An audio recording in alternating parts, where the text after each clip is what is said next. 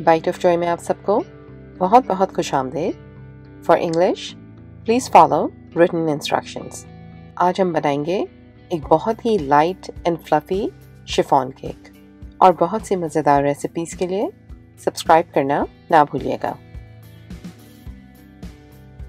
साढ़े चार आउंस मैदा, एक आउंस कॉर्नस्टार्च आधी छोटी चम्मच बेकिंग पाउडर तमाम चीज़ों को आप अच्छी तरह से थोड़ा मिक्स कर लें। इसे आप अब थोड़ी देर के लिए साइड पे रहने दें। चार बड़े अंडों की जर्दी, ये तकरीबन दो से ढाई आउंस के करीब है। ढाई आउंस दूध, दो आउंस खाने का तेल। तेल आप इसमें बिना स्मेल वाला, जैसे कि वेजिटेबल ऑयल इस्तेमाल करें। एक चुटकी नमक, एक छोटी चम्मच इंस्टेंट कॉफ़ी एक आउंस चीनी। तमाम चीज़ों को आप अच्छी तरह से फेंट लें। अब हम इसमें आहिस्ता आहिस्ता मैदे का मिक्सचर डालना शुरू करेंगे। इसे आप थोड़ा थोड़ा करके डालते जाएँ और हिलाते जाएँ।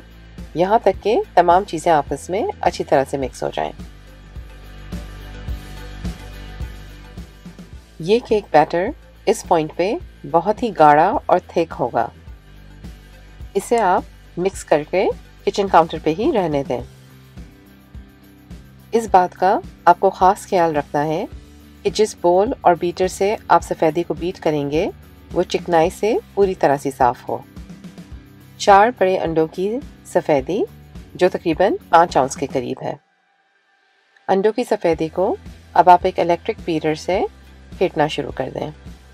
साथ ही साथ में अब हम इसमें चीनी डालना भी शुरू कर देंगे। साढ़े तीन आउंस या सौ ग्राम चीनी। अब थोड़ा थोड़ा करके आप इसमें चीनी भी डालते जाएँ और अंडे की सफ़ेदी को फेंटते भी चले जाएँ। इसे हम तब तक फेंटते रहेंगे जब तक कि सफ़ेदी की स्टिफ पीक्स फॉर्म नहीं हो जाती। इसे चेक करने का दूसरा तरीका यह है कि आप बोल को पूरी तरह से अगर उलट भी दें तो इसमें से सफ़ेदी बाहर नहीं गिरेंगी। हमने मैदे और जर्दी का जो गाढ़ा मिक्सचर तैयार किया था, अब हम उसमें आहिस्ता आहिस्ता सफ़ेदी मिलाना शुरू करेंगे। सफ़ेदी मिलाने से अब मैदे का मिक्सचर बहुत ज़्यादा गाढ़ा नहीं रहेगा। इस टाइम पर आप अवन को 350 डिग्री फ़ारेनहाइट पर प्री हीट करने रख दें। इसमें आप तकरीबन एक तिहाई सफ़ेदी अच्छी तरह से मिक्स कर लें। अब हम इसे सफ़ेदी के बोल में थोड़ा थोड़ा करके डालेंगे और बहुत ही हल्के हाथ से इसे मिलाना शुरू कर देंगे। जितना टाइम आपने अंडों की सफ़ेदी को बीट करने में लगाया था, वो पूरी तरह से डिफ्लेट ना हो जाए। इसीलिए आप बहुत ही प्यार से और आराम से दोनों चीज़ों को मिक्स कर लेंगे। इसे हम सिर्फ़ तब तक ही हिलाएँगे जब तक कि दोनों चीज़ें आपस में अच्छी तरह से कंबाइन नहीं हो जाती। आधा कप बारीक चॉकलेट शेविंग्स ये पूरी तरह से ऑप्शनल है। अगर चॉकलेट अवेलेबल नहीं है तो आप इसे स्किप भी कर सकते हैं।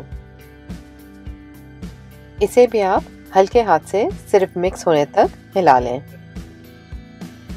इस केक को बेक करने के लिए हम 10 इंच का बंट केक पैन इस्तेमाल करेंगे। जब केक बैटर को आप पैन में डालें तो इस बात का ख़ास ख्याल रखें कि ना तो पैन को हम ग्रीस करेंगे और ना ही इसमें कोई मैदा छिड़केंगे। ये केक बंट केक पैन में बेहतरीन बन के तैयार होता है, लेकिन अगर ये अवेलेबल नहीं तो आप कोई रेगुलर केक पैन भी इस्तेमाल कर सकते हैं, जिसकी साइड्स तकरीबन चार से पाँच इंचेस टॉल हो। केक मिक्सचर को पैन में डालने के बाद आप इसे स्पैचुला से थोड़ा लेवल कर लें। केक को हम 350 डिग्री फ़ारेनहाइट या 176 डिग्री सेल्सियस पर आधे से पौने घंटे के लिए बेक करने रख देंगे। केक बेक होने के बाद आप इसके बीचों बीच में एक टूथपिक डालकर चेक कर लें। अगर ये पूरी तरह से क्लीन बाहर निकलती है तो केक आपका बनकर तैयार है। केक पैन को आप एक वायर रैक पर उलटकर ठंडा करने के लिए रख दें। शिफॉन केक को इस तरह से पलटकर ठंडा करना बहुत ज़रूरी है। जब केक पूरी तरह से ठंडा हो जाए तो एक बटर नाइफ की मदद से आप केक को साइडों से और नीचे से थोड़ा सा अलहदा कर दें। बंद केक पैन में आपको केक को अंदर की ट्यूब से भी अलहदा करना होगा। अब आप इसके ऊपर एक केक प्लाटर डाल दें और पैन को पलट लें। अगर आपका केक इस पॉइंट पर आसानी से बाहर नहीं निकलता तो बटर नाइफ लेकर आप फिर से केक को थोड़ा साइडों से पुश कर लें। अगर आप चाहें तो केक के ऊपर आप थोड़ा मीठा विपिंग क्रीम डाल दें। क्रीम को हमने थोड़ी पिसी हुई चीनी के साथ फेंट लिया था। अगर आप क्रीम प्रेफर नहीं करते तो आप इसके ऊपर पिसी हुई चीनी भी स्प्रिंकल कर सकते हैं।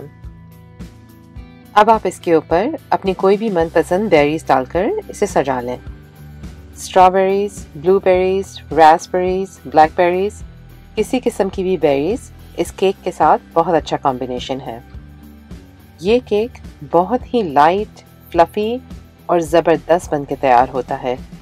ये केक मुँह में जाते ही पिघल सा जाता है। इसे आप एक बार नहीं, बल्कि बार बार बनाने की ख्वाहिश करेंगे। अगर आप इस केक को ट्राई करते हैं तो कमेंट सेक्शन में ज़रूर बताएँ कैसी लगी ये रेसिपी अब आप भी इसे बनाएँ और अपने प्यारों को खिलाएँ। याद रहे सब्सक्राइब करना ना भूलिएगा।